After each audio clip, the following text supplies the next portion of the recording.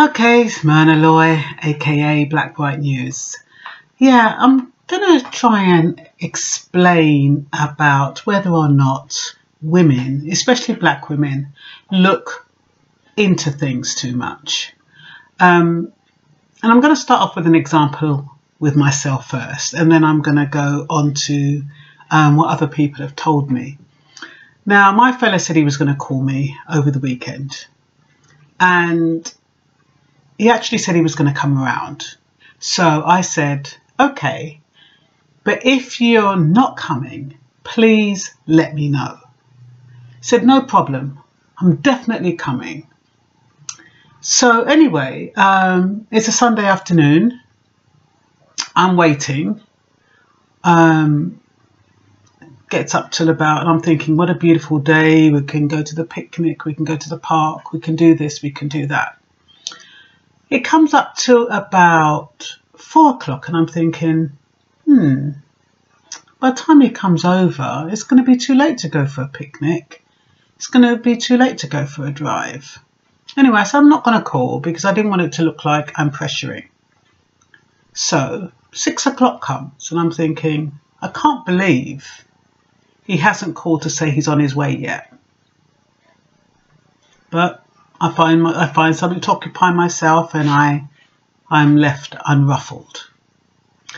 Then it's about 7:30. I'm like, nah, nah, nah. This is totally not right, because he told me he was coming in the afternoon. Now I was in a dilemma at that point.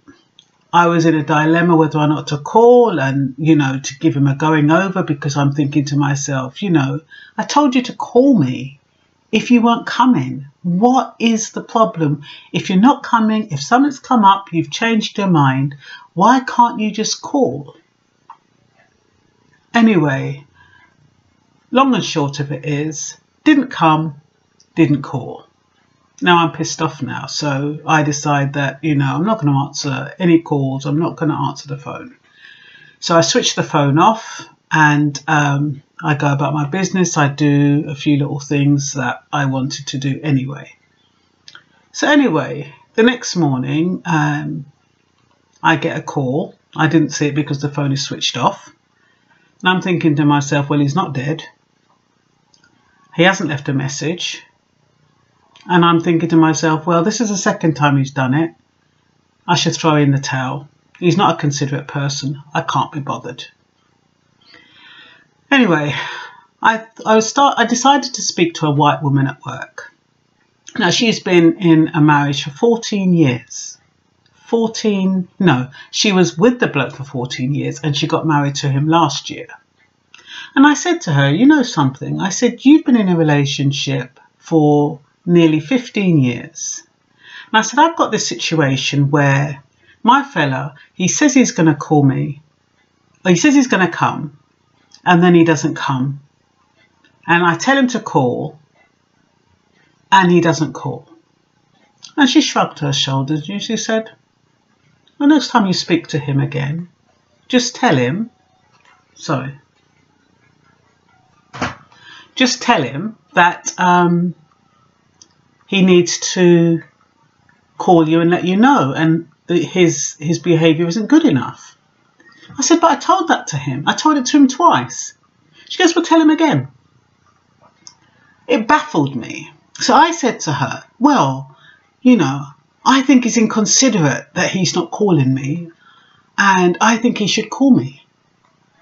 And, or at least call me and let me know he's not coming. She said, Myrna, you're looking, you're looking to, you're looking into it too much. And I was totally baffled.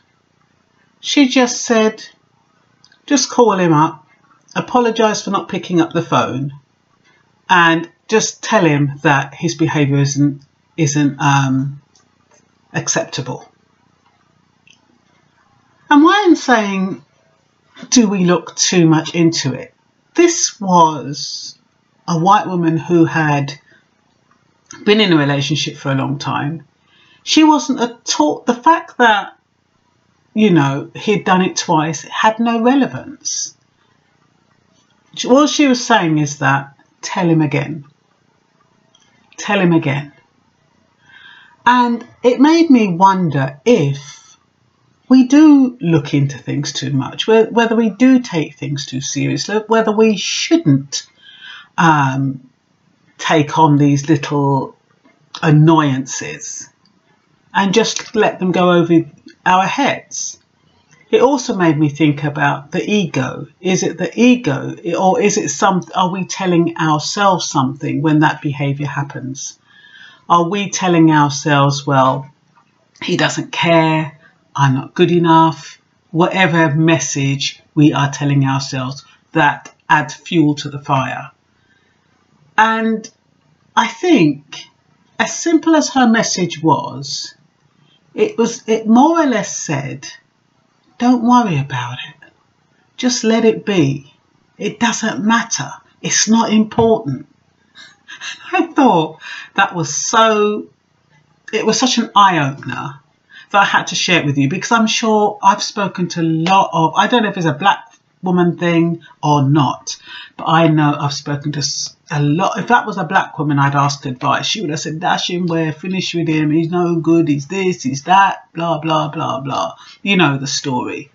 Um, but it's the first time I'd actually asked um, somebody who had a history of making something work um, for advice.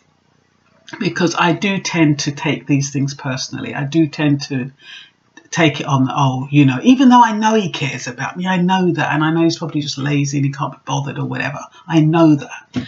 But it still didn't negate the fact that I went through all of these things of thinking, oh, you know, this and that.